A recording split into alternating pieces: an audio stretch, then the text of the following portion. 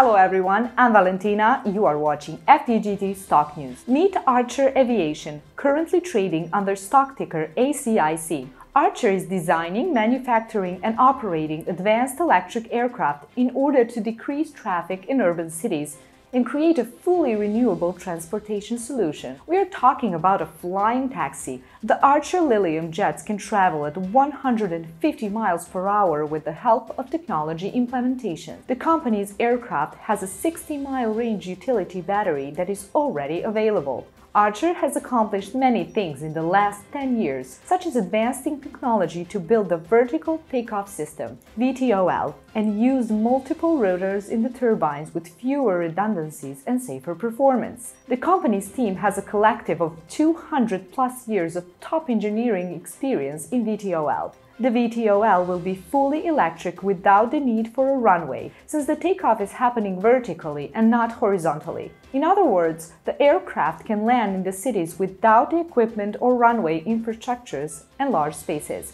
The biggest obstacle in building an urban flying aircraft is overcoming the noise of the air hitting the rotor, and Archer claims they have done that by having electric motors turning propellers with low tip speeds resulting in considerably less noise. The announced merger acquisition of Archer with Atlas Crest Investment Corp. The newly combined company will be listed on the New York Stock Exchange under the new ticker symbol ACHR and expected to compete in the second quarter of 2021. The transaction is expected to provide approximately $1.1 billion in gross proceeds to the combined company, including a fully committed $600 million common stock. One of the leading strategies and financial investors is United Airlines. The stock has traded on $14 at market close, and we at FDGT gave it a bullish rating.